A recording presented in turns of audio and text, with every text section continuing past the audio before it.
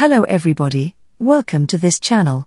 Today, I'm going to show you how to copy and paste clips on CapCut. For that, you have to follow my instructions very carefully. So let's get started. First go to the CapCut app.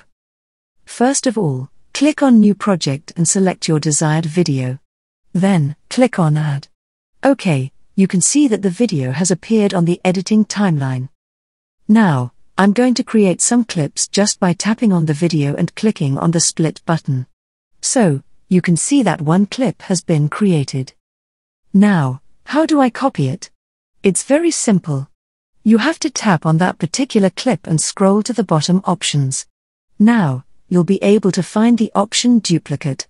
Here it is. Click duplicate, and that's all. You can see that the clip has been duplicate. So, this is how easily you can copy any clip on CapCut. That's all for today's video. If this tutorial helped you, like this video and don't forget to like and subscribe to my channel. See you in the next one.